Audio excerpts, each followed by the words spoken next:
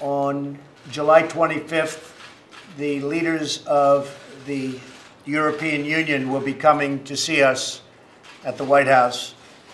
And as you know, I've made no bones about it, uh, they have massive trade barriers where our farmers can't sell there for the most part.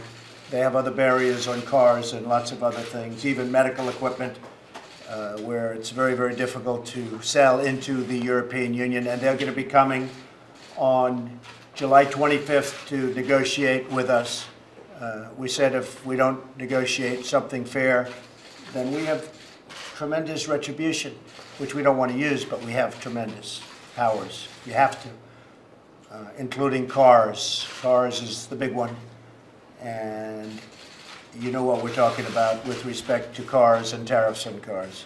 And they know better than you do, they know better than all of us do what that means. So they're going to come and they're going to try and negotiate a deal. I I traveled to Pyongyang for the third time. Uh, We made uh, progress on some issues. There's, there's a lot of work to do. It may take some time to get where we need to go, but all of this will be taking place against the backdrop of continued enforcement of the existing sanctions.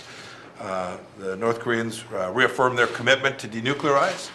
Uh, We're making progress along the border to get the return of remains, a very important issue for those families. We think in the next couple of weeks, we'll have the first remains returned. That's the commitment.